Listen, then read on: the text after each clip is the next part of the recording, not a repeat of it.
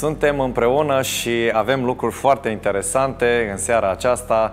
Vrem ca să aducem speranță și bucurie în sufletele noastre prin Cuvântul lui Dumnezeu. Vrem ca să descoperim lucruri extraordinare pe care nu le găsim acolo unde lumea le caută de obicei, în presă, în media, pe internet. Suntem în uh, fața unor evenimente care se desfășoară rapid în fața noastră și oamenii caută explicații. Noi căutăm explicații, dorim să știm ce se întâmplă cu adevărat și care este miza din spatele tuturor acestor lucruri care se întâmplă în jurul nostru. Bineînțeles, explicații găsim multe și sunt mulți care doresc să le ofere, însă până la urmă ele vor sta în picioare atunci când vom vedea care este împlinirea acestor explicații. În Cuvântul lui Dumnezeu ni se vorbește despre marele război dintre Dumnezeu și cel rău, un război care a început cu mult, mult timp înainte și care se continuă într-o altă formă la noi aici pe pământ.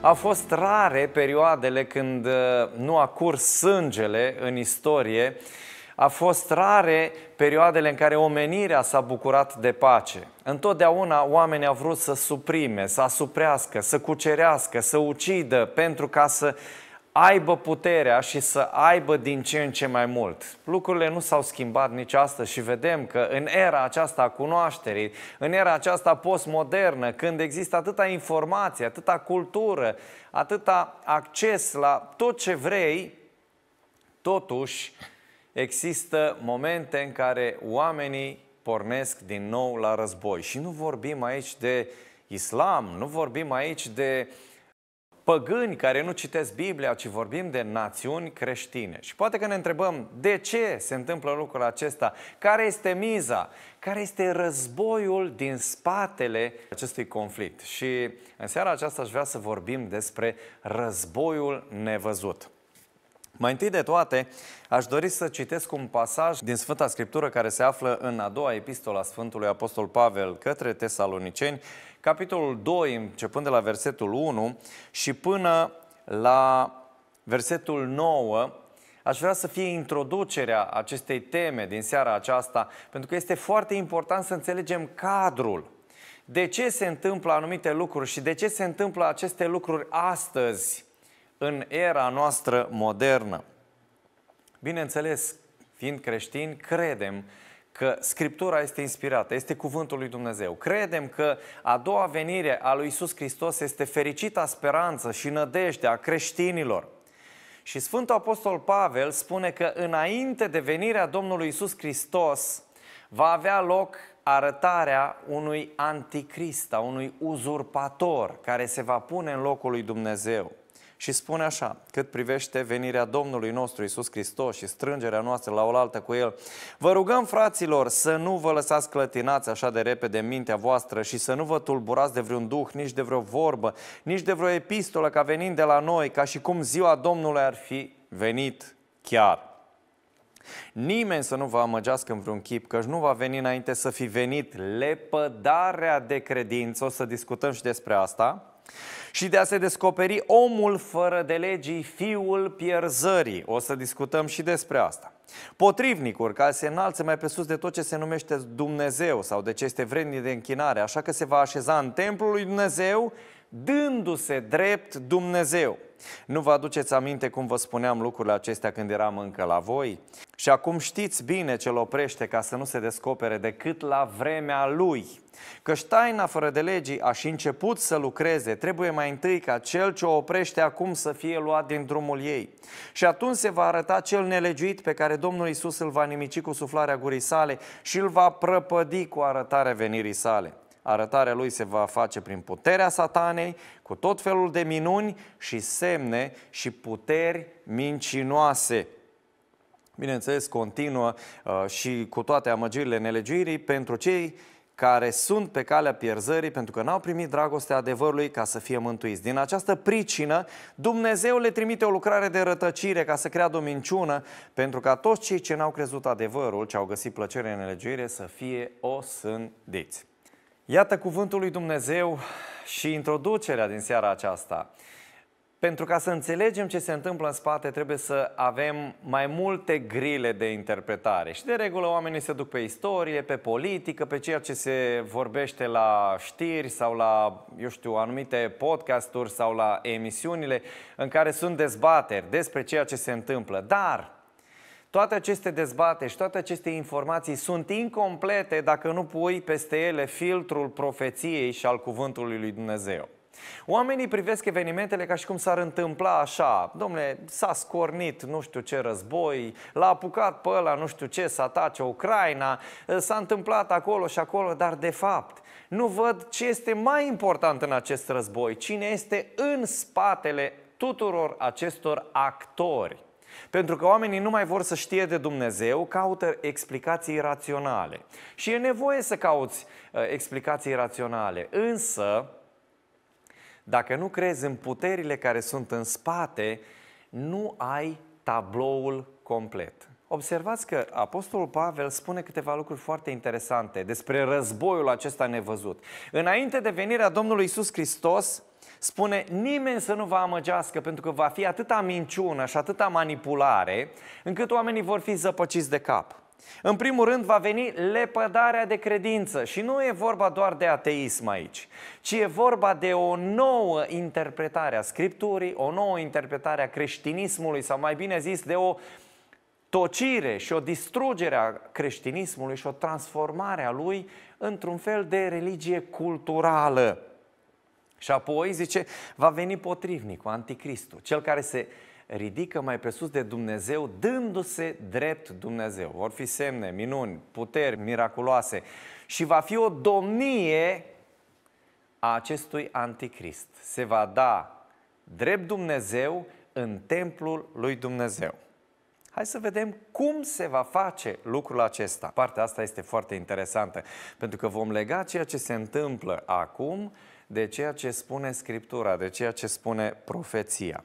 În cartea lui Daniel, cartea prorocului Daniel, la capitolul 11, întâlnim câteva lucruri foarte interesante care ne vorbesc despre acest om al fără de legii, despre care vorbește Pavel, despre această putere politico-religioasă care va pune jugul de fier în vremea sfârșitului asupra omenirii.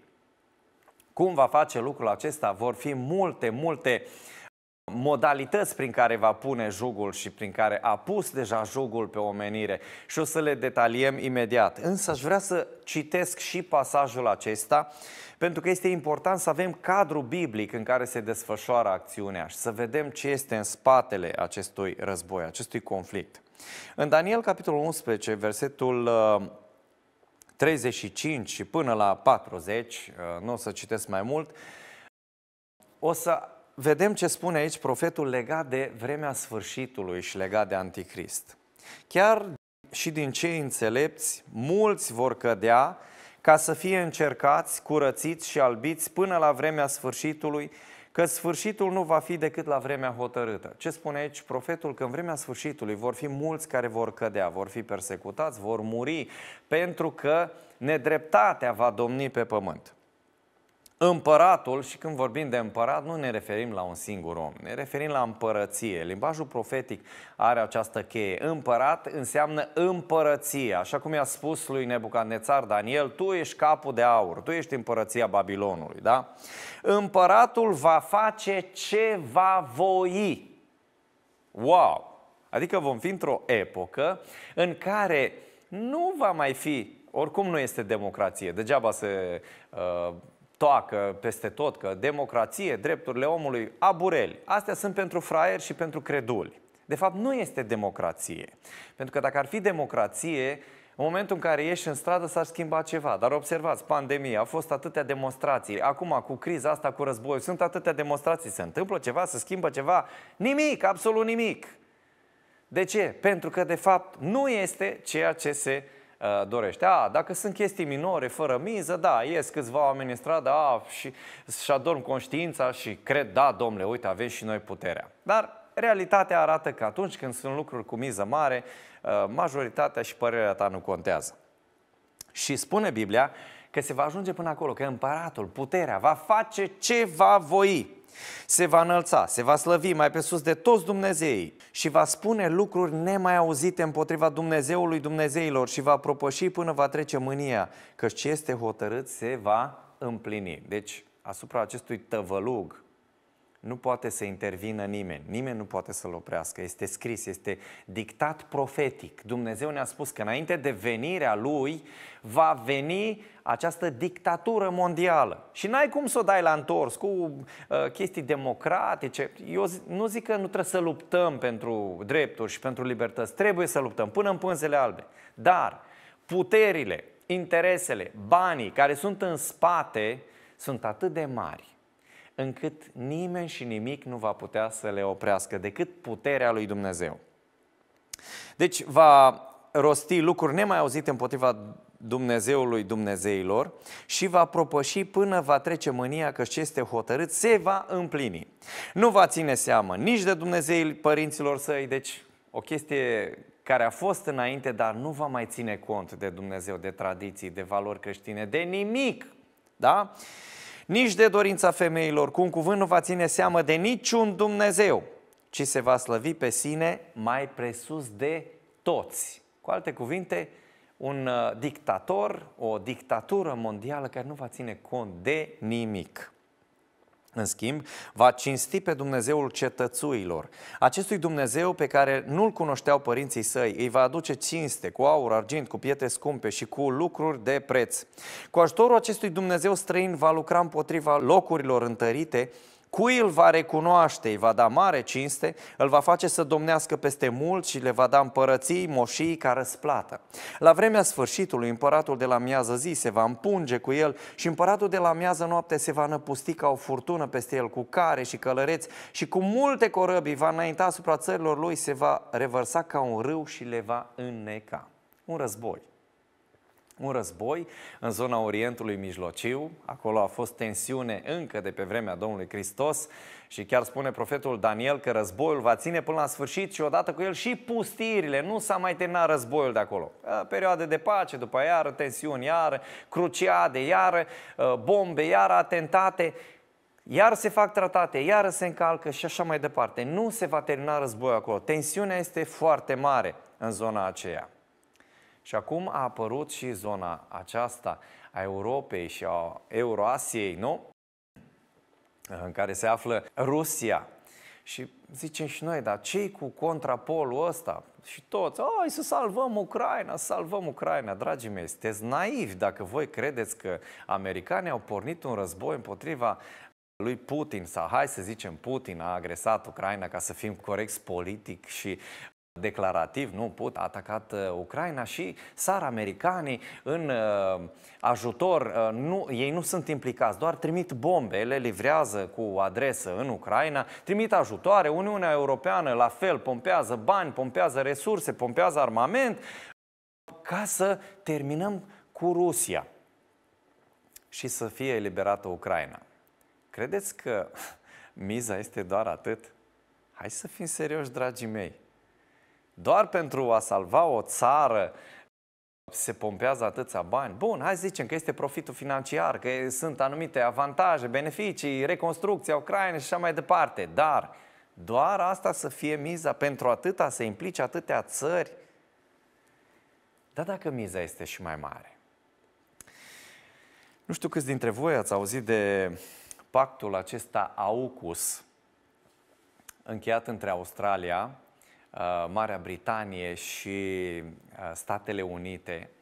De fapt, este un uh, nume format din inițialele țărilor, da, A de la Australia, UK de la UK și US de la Statele Unite.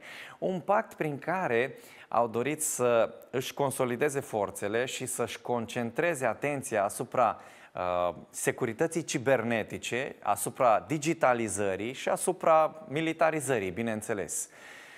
Și după pactul ăsta, unele țări au fost destul de șifonate. Care este practic miza. Domnul doctor Filip Panait chiar a scris un articol pe tema asta într-una din cărțile sale și chiar merită citit pentru că omul acesta, pe lângă faptul că este medic, este inventator, este și un student al Bibliei și al profeției și are legături foarte strânse cu Israelul și cu ceea ce uh, se întâmplă acolo și chiar zice bine anumite lucruri a prezis oarecum, uh, fără a-l face profet, uh, venirea la puterea lui Netanyahu, chiar dacă mulți nu mai credeau că el o să câștige alegerile, deși americanii au pompat bani acolo împotriva lui și au făcut o anticampanie, dar până la urmă a ieșit uh, Netanyahu. El scrie acolo că oamenii ăștia, puterile acestea, vor să investească în cibernetică și în fizica cuantică, să creeze un supercalculator pentru că războiul nu se mai dă la baionetă. Da, în, mor oameni, adevărat, uciși de bombe, dar adevăratul război se dă în zona aceasta a tehnologiei. Și cine va controla tehnologia, acela va controla lumea. Și de asta bătălia este atât de mare și acum începe să se umfle și China în pene, da? începe să intre în scenă și toată lumea zic, a, economiile sunt acolo, ă, ce o să facă America în situația asta, ce o să facă ceilalți, ce o să facă rușii. Dragii mei, cine va pune mâna pe cheia și pe codurile rachetelor nucleare, va controla totul. Și aici este adevărata miză.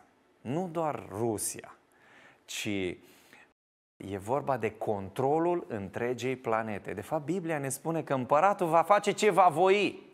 Și cu ajutorul tehnologiei va putea să golească toate conturile bancare și astea nu sunt teoriile conspirației, dragii mei, ci sunt profeții. Și lucrurile astea se întâmplă. Vedem aici despre controlul cibernetic, despre uh, criza bancară, despre modul în care poți să furi bani din conturi dacă ai acces la coduri este foarte simplu, totul este foarte simplu. În momentul în care ai controlul cibernetic, cum este totul băgat în digital și online, practic deții controlul lumii. Și tot armamentul și toate lucrurile care uh, constituie arme periculoase vor fi inutile sau vor fi manipulabile doar de cel care va avea cheia acestor, acestor arme și tehnologii militare.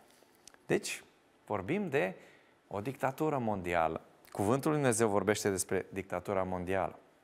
Care sunt tentacolele acestei caracatițe, acestei uh, dictaturi mondiale? Aș vrea să vă spun că nu vreau să vă înfric în seara asta, doar vreau să vă deschid ochii să vedeți pe ce lume trăiți și pe ce lume trăim, ca să ne încredem mai mult în Dumnezeu, să avem mai multă speranță și să luptăm acolo unde trebuie, nu să mergem pe piste false.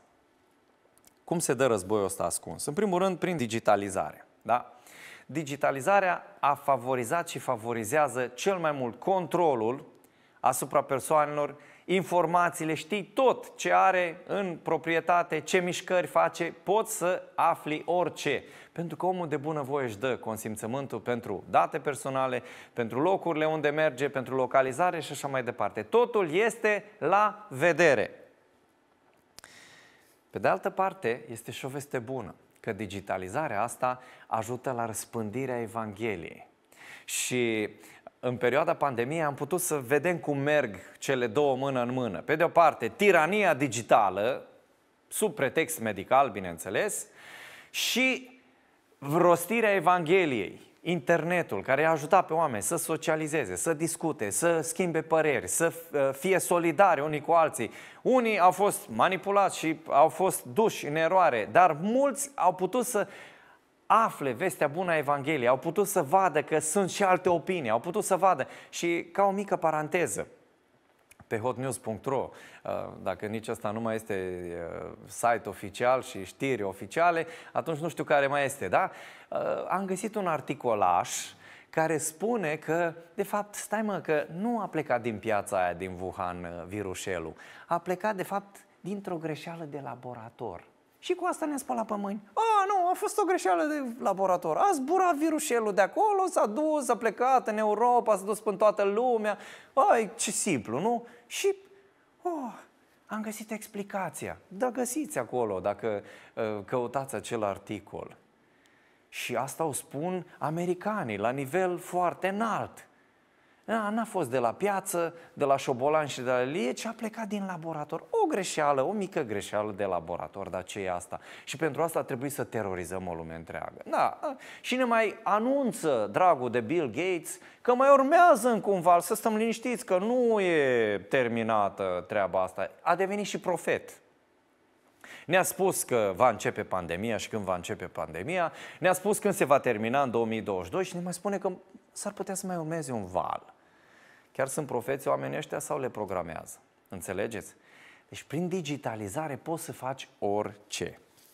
Apoi, putem vedea că se lucrează în acest război nevăzut pentru controlul lumii și prin dictatura medicală. Tu ești un pericol pentru societate, mi se spunea mai ieri. Infectezi pe alții. Uh, ești uh, un pericol, n-ai milă de ceilalți, îi ucizi pe ceilalți, tu îți dai seama ce criminal mare ești dacă nu faci ceea ce spune guvernul sau statul sau ceea ce spun oficialitățile și ceea ce face majoritatea. Ești un dușman. Mergi pe linie, arăți QR-ul, mergi, în, uh, te supui nouă, stai în casă, pentru că așa spunem noi, dictatura medicală. Și oamenii, foarte mulți dintre ei, au mușcat momeala aceasta. Apar studii, apar tot felul de uh, scandaluri, apar acuzații, da? Cine să-i prindă pe balaurii ăștia? Că n-are cine, dragii mei. Pentru că lucrurile s-au inflamat la nivel mondial și nu mai vorbim de dreptate. Apoi, dacă vorbim de control și de, de abuzuri, gândiți-vă că în perioada aceea a fost blocat codul, a fost blocat contul de Facebook al lui Donald Trump, care era președintele Americii, dragii mei. Păi, într-o situație normală, în secunda 2, toate serviciile secrete ar fi trebuit să meargă pe Zuckerberg să-l aresteze, să închidă tot Facebook-ul și toate platformele și absolut tot și să distrugă tot ce are. Pe păi cum să blochezi, mă, contul președintelui Americii și miliardar pe deasupra, cum să blochezi contul președintelui Americii? Păi vedeți în ce noapte a minții trăim. Războiul din spate se duce altfel, cu alte arme, cu alte argumente. Și să nu credeți că ăia de la Facebook au zis, hai să blocăm și noi contul. Nu, au avut în spate o întreagă infrastructură ca să-l sape pe Trump și să găsească acolo suport, sprijin, ca să facă lucrul acesta. Dictatura digitală, războaie. Războaiele astea sunt diversiuni, pentru că Scriptura ne spune că acest anticrist își dorește control total. A, povești cu apărarea democrației, chiar uh, uh, citiți, vă rog, uh, cartea domnului Boia cu mitul democrației. Nu există democrație decât pentru cei creduli. Încercați numai să ieșiți din sfera asta a călătoriilor, a vacanțelor, a blablaurilor, care n-au nicio greutate și a faptului că te duci la supermarket să-ți umpli coșul, dacă ai bani, bineînțeles. Și dacă ați ieșit din sfera asta, o să vedeți că nu suntem chiar așa de liberi precum ni se tot spune, libertăți, libertăți, democrație și așa mai departe. Da? Și o să vedeți că lumea se mișcă pe alte coordonate. Care va mai fi un alt tentacul? Criza economică și alimentară. În doi ani de zile s-au scumpit de nu e adevărat. Și toți zic, oh, inflație, criză. Cine face, dragii mei, inflația și criza? Cine? Cine le fac? Tot băncile, tot miliardarii, tot cei care sunt la control, la butoane. Ei, păi azi sunt acolo, după aia își trag banii din bănci, o, oh, e criză, falimentează banca, nu știu care, falimentează nu știu unde. Și dau un zvon în media și oamenii își trag banii de acolo și gata, a falimentat, wow, e criză, criză. De unde? Până ieri de ce a mers? Deodată apare criza. E clar că lucrurile astea nu sunt curate. Au elemente demonice în spate și au uh, lucruri care țin de intenție sunt planificate, sunt făcute, sunt create. Criza economică și alimentară. Oamenii, pentru un pumn de mâncare, își vor vinde libertățile și vor controla lucrul acesta. Dictatura ecologiștilor Și criza energetică, ați auzit despre treaba asta. O, oh, salvăm planeta, salvăm terra noastră de poluare, facem mașini Euro 20, băgate în priză, se alimentează direct de la soare, aiureli. Toate astea sunt făcute pentru control. Țineți minte treaba asta, pentru control. Nu interesează să salveze planeta. Dacă i-ar fi interesat și ar fi oprit industriile care poluează, care produc noxe, care distrug planeta și toate ecosistemele. Le-ar fi oprit, dar foamea de bani și de putere nu îi lasă să facă lucrul ăsta. Și ne stăm tot pe noi de gât. Ia-ți mașină electrică. Până 2035 toate pe combustibil trebuie să dispară. De ce? Obligatoriu. Asta este știre oficială. De ce să dispară până în 2035? ca să aibă controlul. Ai bani să bagi în priză? Te miști, da, te miști cât vrem noi, 250, maxim 300 de km. Nu te duci tu așa, că până acum aveai independență. Dacă aveai o canistră, 2 litri de motorină, te mai duceai. Te duceai la un tractorist, dă mă, uite, a rămas în pană. Ei, dar acum încarcă tu mașina cu plug-in în vârful muntelui, dacă rămâi fără energie. Să vezi ce se întâmplă. Deci e vorba de control. Ah, și ecologiștii, va, salvăm planeta, facem toalete ecologice. Și acum fac orice să înhațe și să îi facă pe oameni să nu mai poată trăi independență. Acum, la noi lucrurile se întâmplă cu oarecare întârziere, dar ați observat care este tendința?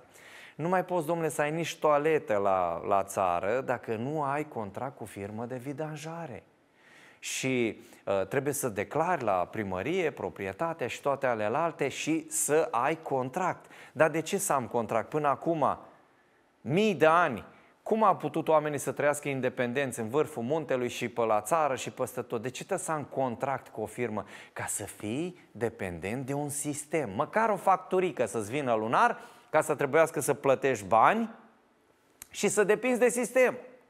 Că până acum oamenii care nu aveau curent, nu aveau nicio factură de plătit, erau independenți.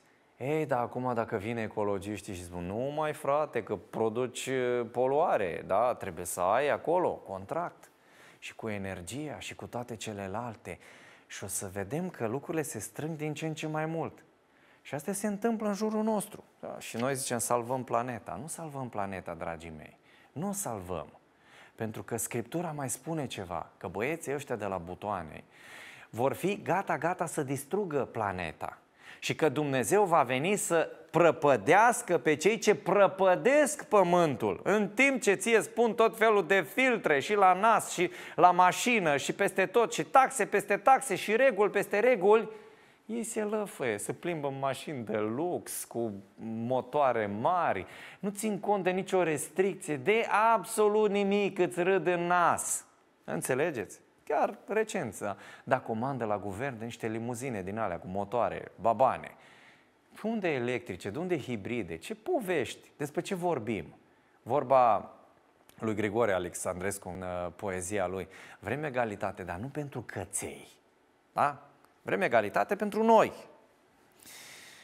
Deci, dictatura aceasta a ecologiștilor, a celor care uh, vor căuta cu orice preț și prin multe mijloace să ne aducă în această, în această dictatură și în această robie.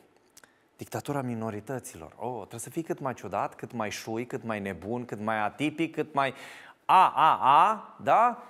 cât mai anormal și atunci câștigi și premii Nobel, ești și apreciat, ești și uh, aplaudat, ți se dau distinții, decorații și toate astea. Domnule, și ești și făcut o victimă. Domnule, hai săracul, uite cât este de, de ne la locul lui și cum îl persecută toată lumea. N-ai nicio treabă, domnule. Și uitați-vă în artă, uitați-vă în muzică, uitați-vă în uh, literatură, uitați-vă în cinematografie, totul trebuie să fie aberant, trebuie să fie elemente ne la locul lor acolo și ale trebuie să fie promovate din ce în ce mai mult. Wow! Și lumea zice, extraordinar, extraordinar! Ce este asta? Tot o formă de dictatură prin care normalitatea este dusă la tăcere. Dictatura fiscală, Păi, dragii mei, este ferească Dumnezeu să ai de-a face cu ANAF-ul, cu poliția, cu amenziile, cu toate astea. Păi deja e un control total. Faceți-vă firmă să vedeți cât este de greu. Cât de mult se încurcă lucrurile și du-te la ghișeu. Acum te trimit imediat la online. A, îmi trebuie o declarație, nu știu, după ce stai nu știu cât la rând, după ce iei nu știu câte bilete, duceți-vă și faceți online. Te duci iară în online. De ce vor să ne bage în online? Ca să ne controleze. Cât mai mult posibil.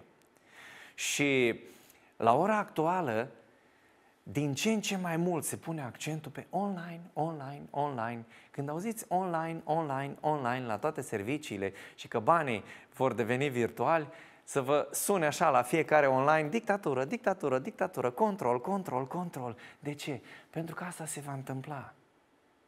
Și probabil că ziceți că sunt nebun. Mai așteptați un pic și o să vedeți în ce direcție se duc lucrurile.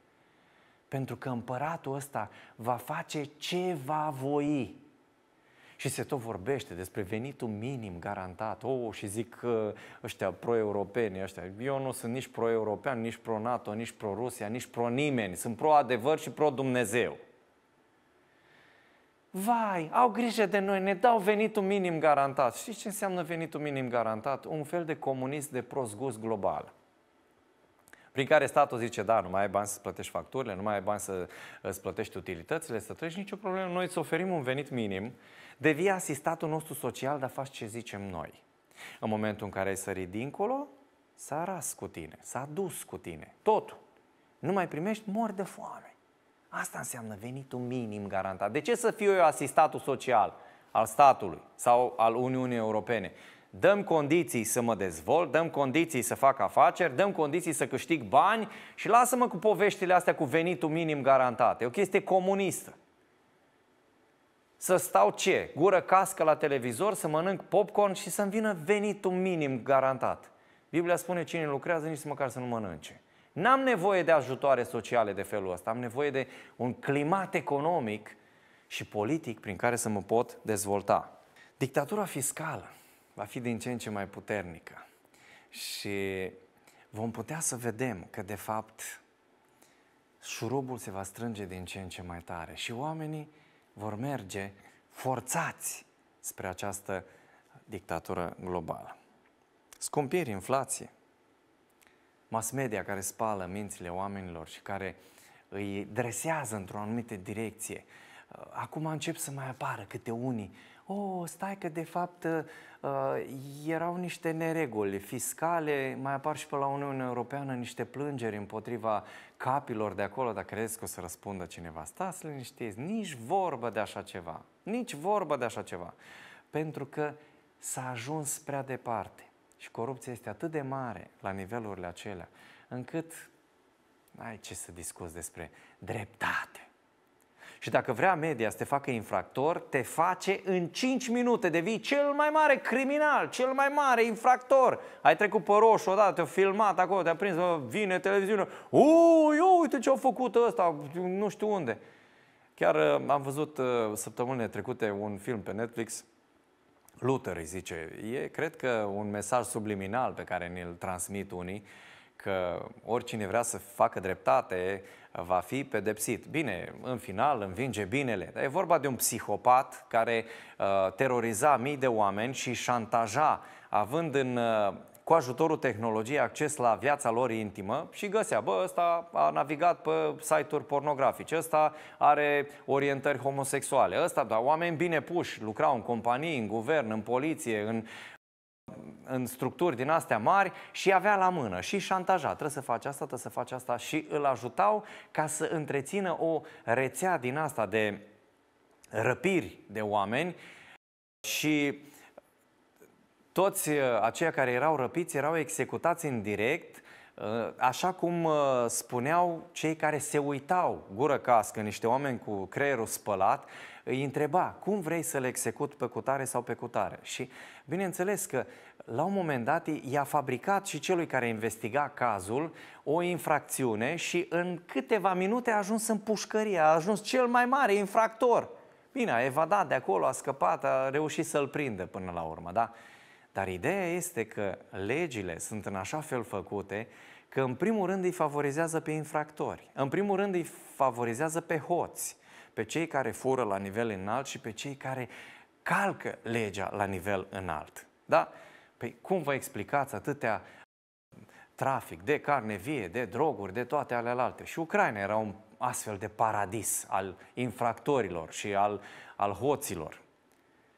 Cum vă explicați? Prin faptul că legile internaționale favorizează în primul rând, prin tot felul, bine, trebuie să știi limbajul, trebuie să ai avocați, trebuie să ai infrastructură ca să beneficiezi de protecția lor. Dar, în momentul în care uh, este investigată o persoană sau un anumit grup, în primul rând are timp infractorul să fugă, să evadeze. Și dacă trebuie să cadă câte unul pe aici pe acolo ca să se spună că justiția își face treaba, o să cadă, dar Până atunci, oamenii au de suferit.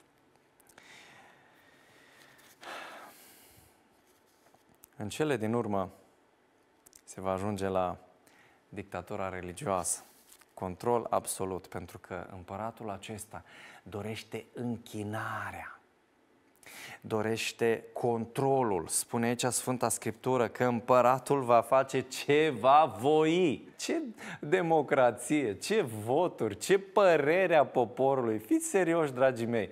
Dacă mâine vor să intrăm în război, vom intra. Că vreți, că protestați, că faceți ce vreți, nu contează.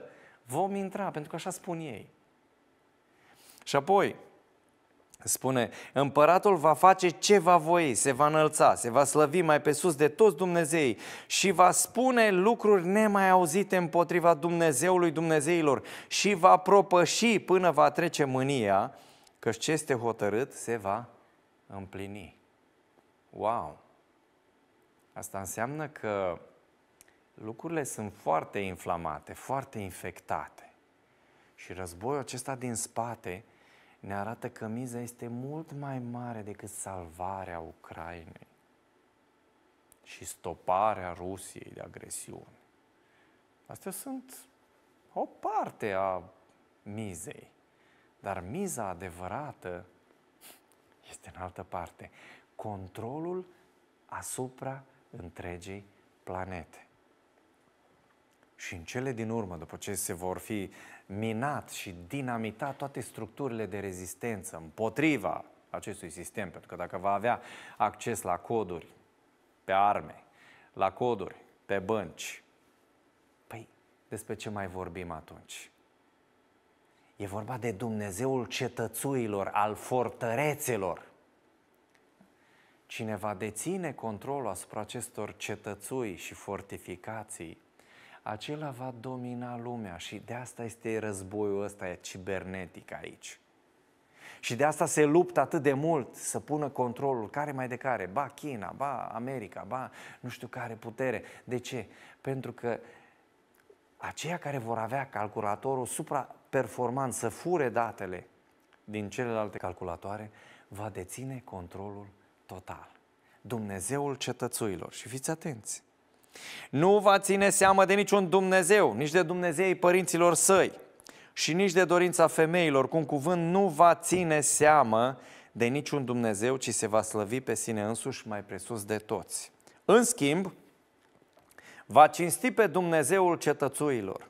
Acestui Dumnezeu pe care nu-l cunoșteau părinții săi, îi va aduce cinste cu aur, argint, cu pietre scumpe și cu lucruri de preț. Deci va fi o putere politico-religioasă. O parte politică, vizibilă, și una religioasă care deocamdată lucrează în ascuns. Pentru că Pavel zice că de pe vremea lui a început încă să lucreze, dar Dumnezeu nu i-a dat voie să apară. Și ghici care era puterea de pe vremea lui Pavel, care a început să lucreze în biserică și care a început să câștige din ce în ce mai mult control și care a, a avut control de-a lungul istoriei nu este greu să îți dai seama de lucrul ăsta. Și și la vremea hotărâtă, la vremea potrivită se va arăta și se va face arătarea lui cu semne mari, cu puterea satanei. Pentru ca oamenii care se bizuie pe forța lor și care iubesc nelegiuirea să fie nimiciți. În schimb, va cinsti pe Dumnezeul cetățuilor. Acestui Dumnezeu pe care nu-L cunoșteau părinții săi, îi va aduce cinste cu aur, argint, cu pietre scumpe și cu lucruri de preț. Cu ajutorul acestui Dumnezeu, fiți atenți, străin, va lucra împotriva locurilor întărite, cui îl va recunoaște, îi va da mare cinste, îl va face să domnească peste mulți și le va împărți moșii ca răsplată. Wow! Lucrezi cu noi? Bani, distincții, titluri, onoare. Nu ești cu noi. Te-am desfințat. Și uitați-vă la toți aceștia care orchestrează din spate anumite lucruri. Câte titluri au. Și pe deasupra mai sunt și cavaleri de... Și după urmează titluri, titluri, titluri, titluri și sunt oameni mult mai de valoare decât cei pe care îi uh, scoate în evidență în media. Genii, inventatori, oameni cu o minte briliantă. Nu-i bagă în seamă nimeni. De ce? Pentru că nu sunt pentru. În vremea asta ciudată în care trăim, ca să fii celebru sau să fii considerat bun, în primul rând trebuie să fii de partea cui trebuie. Și în al doilea rând, să spui ceea ce trebuie, să nu gândești și să nu pui întrebări. Dacă ai calitățile astea, ești săltat în față imediat. Și toți te laudă și te aplaudă și primești titluri după titluri și distinții după distinții. Unii poate sunt de valoare și sunt cumpărați de aceste elite mondiale. Dar foarte mulți dintre ei obțin titlurile în felul acesta. Spune Scriptura, spune profeția, cu ajutorul acestui Dumnezeu străin va lucra împotriva locurilor întărite. Cui îl va recunoaște, îi va da mare cinste, îl va face să domnească peste mulți și le va împărți moșii ca răsplată. Ești cu noi? Zici ca noi?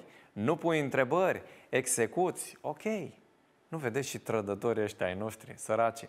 Câte medalii și distinții primesc de peste tot? Dar pentru ce, dragii mei? Pentru o altă trădare? Pentru ce să primească atâtea distinții și decorații? Pentru ce? Tocmai pentru că ei cântă o partitură scrisă de alții. E ok, ești în regulă, ești cu noi, nicio problemă, totul este în regulă.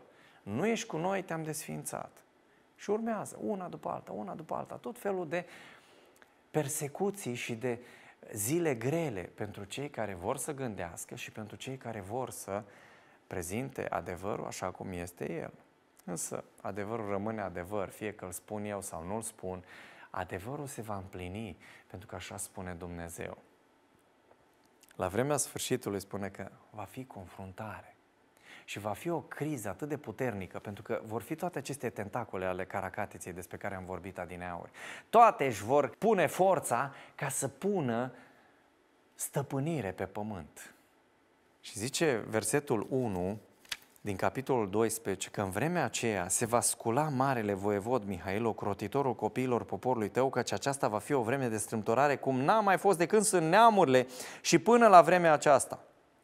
Dar în vremea aceea poporul tău va fi mântuit și anume oricine va fi găsit scris în carte. O criză cum n-a mai fost. A fost războaie, a fost foamete, dar cu ajutorul digitalizării, toate acestea pot fi amplificate demonic, la putere demonică. Și nu vei mai putea să faci absolut nimic. Și spune cuvântul că n-a mai fost o asemenea criză și nici nu va mai fi. Și scăparea este într-un singur loc, la Dumnezeu. Nu banii din cont te vor scăpa, nu mașinile pe care le ai, nu buncărele cu provizii, nu pilele, nu relațiile, nu funcțiile tale, nu, nu, nu, nimic din toate acestea.